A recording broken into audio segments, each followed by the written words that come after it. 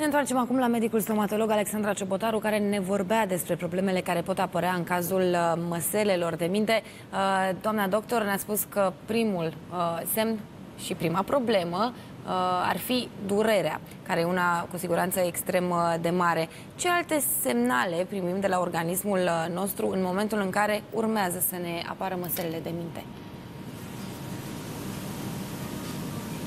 Ok, așa cum uh, spuneam, dacă dintele începe să crească un pic din lipsă de spațiu, rămâne pe jumătate rupt, pe jumătate în os, poate apărea următoarea problemă și anume infecția.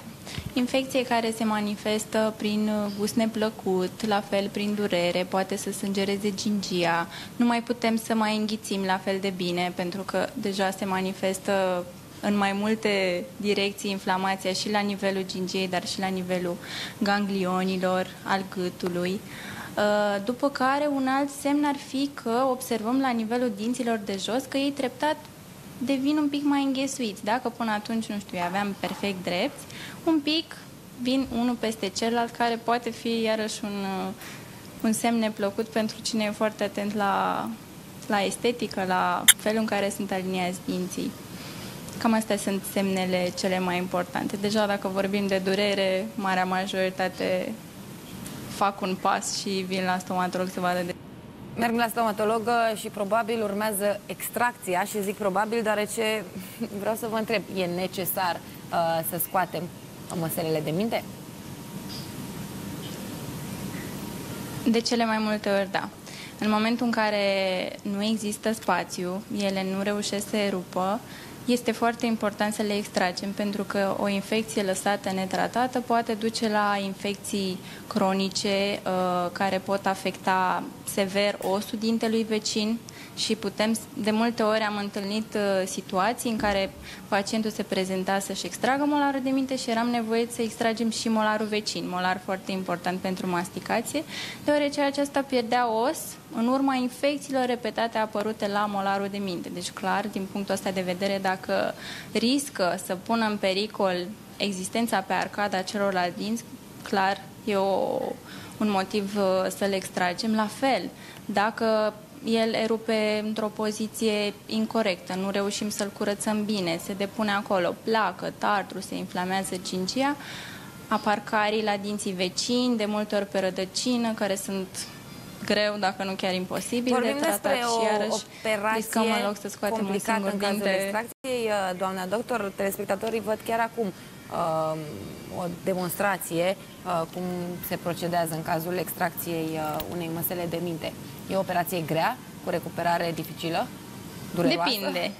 De Depinde de, depinde de norocul pacientului. Adică dacă are noroc ca rădăcinile să fie unite, să fie scurte, să fie coroana globuloasă, atunci extracția durează la 5 minute. În schimb, dacă uh, tintele e are un deficit mare de spațiu, e acoperit în totalitate de os, de gingie și atunci trebuie îndepărtată gingia, trebuie îndepărtat osul.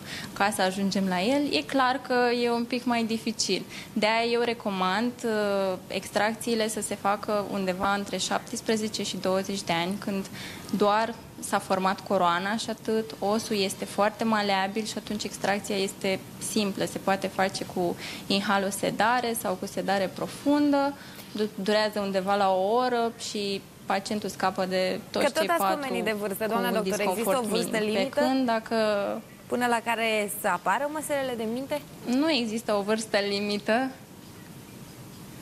Nu, nu există o vârstă limită, dar e clar că cu cât înaintăm mai mult în vârstă, cu atât extracția e mai dificilă. Pe fondul inflamațiilor vechi, pe fondul cailor care pot apărea la dinții vecini, oasele sunt mult mai dure, recuperarea e mai dificilă față de o extracție făcută undeva la 20 de ani. Dar e posibil să nu iasă măselele de minte niciodată? Este posibil, da, este posibil. În situațiile acestea în care ele rămân complet ancorate în os, putem face un diagnostic, uh, putem să le urmărim pe termen lung și să vedem dacă fac probleme sau nu. Adică dacă mm, recuperarea și extracția în sine e prea dificilă, putem să optăm pentru varianta în care facem radiografia an de an, vedem dacă stau în aceeași poziție și nu periclitează ceilalți dinți și atunci le lăsăm în pace. Da? De cele mai multe ori e o situație de mijloc, când au ieșit un pic, când s-au inflamat, au cariat dinții vecini, dacă pacientul mai poartă și aparatul ortodontic, cu atât mai mult trebuie extrași pentru că la finalul tratamentului ortodontic putem, ne putem să ne trezim că dinții se vor înghesui la loc pentru că molarul de minte, chiar dacă nu are loc, tot o să vrea să iasă. Uh, și ajungem Așa din nou la controlul periodic care este de vedere, nu prea e cale de uh, scăpare. Să îl facem. Mulțumesc foarte da. mult, doamna doctor, exact. pentru